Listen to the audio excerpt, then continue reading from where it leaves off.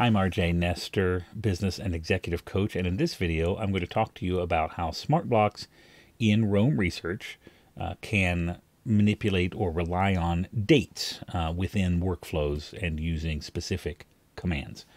So, when we're talking about date functions, or I should say commands, in within smart blocks, the most fundamental are date and date basis. Now, just for the record, if you're coming into this video as the first video in this sequence you've seen, check the description. You can learn how to get smart blocks in your Roam graph uh, and uh, various things like that, other videos that kind of talk you through a little bit more of what smart blocks are. But for here, I'm going to dive right in to the date functions. The most fundamental are date and date basis. Date simply inserts a date. Date basis, and we'll, I'll explain what this means as the video goes on, changes what today means uh, in the concept uh, of, of that workflow. So both of these use natural language processing. Uh, and what I mean by that is that the parameter for each of these uh, uh, commands, the part that comes after the colon, can just be a phrase that specifies a date. So it can be something as simple as today, or three weeks from now, or last Tuesday, or next Friday. So it doesn't need to be anything super special as far as you know you need to have a you need to know exactly uh, some sort of code in order to uh, call on a specific date. You can absolutely do it with natural language, which is really cool and really, really, really useful. So just to show you how they work within a command. So this is right. This is the 42 smart block I've created right here. This is what you need to define as define a smart block workflow. I called it date and date basis commands demo. So we'll be able to run it here in a moment.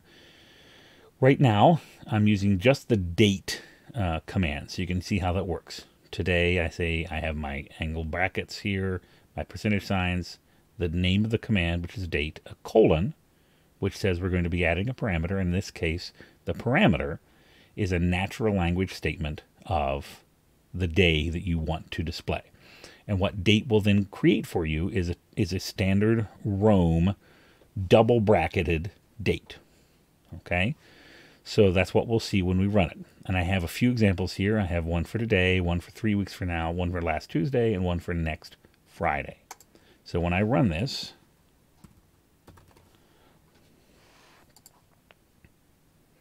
you can see it ran very quickly here, and it shows me the today's date is January 23rd.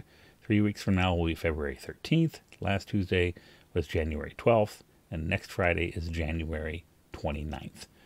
So it, it works through all of those and prints those out for me. Now, I'm going to show you how date basis works. If I add to the beginning of this workflow a date basis command, and let me show you how you can call them up. If I hit JJ first and then the angle bracket, bracket parentheses and start typing, it's going to pull up the command so I can make sure I get them correct. So date basis even leaves me with a uh, uh, cursor blinking right beside that colon ready for the parameter. If I change the date basis to three days ago, for instance, and then I were to come down here and run this exact same workflow again, date, sorry, I needed to, uh, there we go, date and date basis commands demo. Now, if you look at the dates that show up, I said I was three days ago. The original block, when I ran it, said January 23rd. The new one says January 20th, three days ago. And all of these others, three weeks from quote unquote now, because it's three days ago, are reflect that uh, that that thing. However, last Tuesday and next Friday are specific days of the week, and thus don't actually change when I do three days ago. That's what's so cool about the natural language processing here. If it's something that's relative to today, um, in a you know in an, in in the sense it's actually going to change the number, it does so. However, when I say last Tuesday from you know, three days ago, which would have been Wednesday, last Tuesday still means the same thing now as it as it, it, did three days ago. So it's going to show up the same thing here. Next Friday still means the same thing now as it would have three days ago. So it shows up here. It's it's very subtle in the way that uh, that Roam Hacker has put these together and this natural language processing uh, and and what it's able to to pull up here. Now, when we when we get really into things, you can even set date basis rather than to a natural language phrase like three days ago. You can set it to DNP, which is short for Daily Notes Page. And that means whatever Daily Notes page it is run on, that workflow is run on, um, will be counted as today. So if you change the date basis to, I'm going back to the original smart block now, and I'm changing that date basis to DNP. Now, if I were to run it, uh, hop over to my Daily Notes page on Windows, that's Alt D. You can do it immediately on uh, on a Mac keyboard. It's Control Shift D. Now I'm in the Daily Notes page here. Close these things up. Um, if I were to run it here, um, it's going to operate with today as a thing. If I were to run it on tomorrow,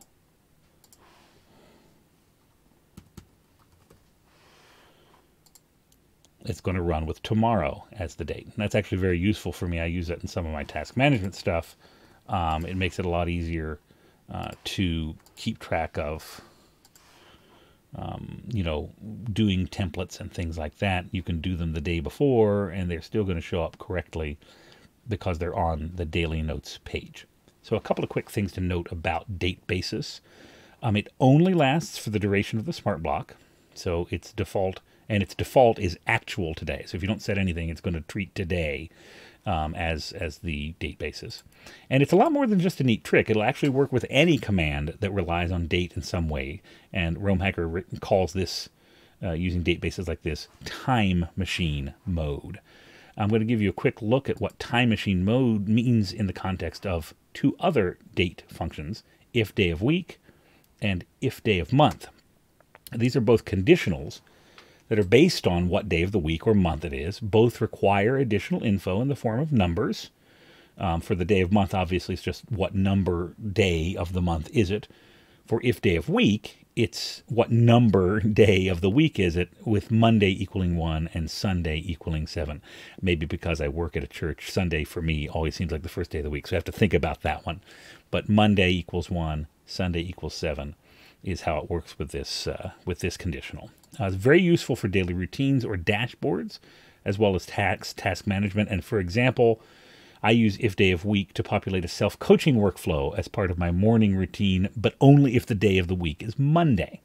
And I do the same for a weekly accomplishments workflow on Fridays.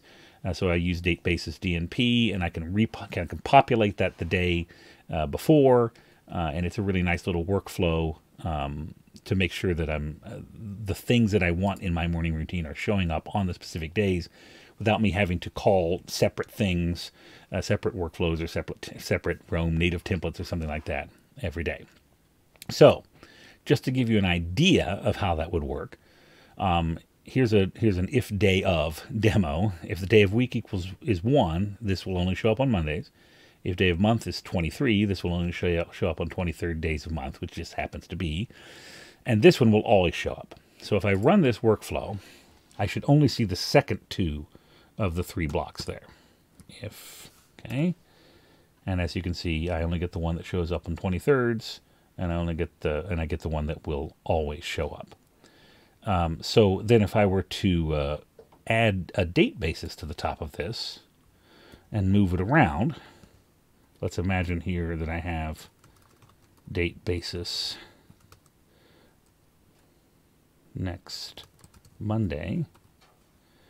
Now, I'm not going to be on a 23rd of a month anymore, um, but I will be on a Monday. So that should mean that if I run it again, now I'll get the one that says it'll show up on Mondays, um, as well as, of course, as the one that will always show up.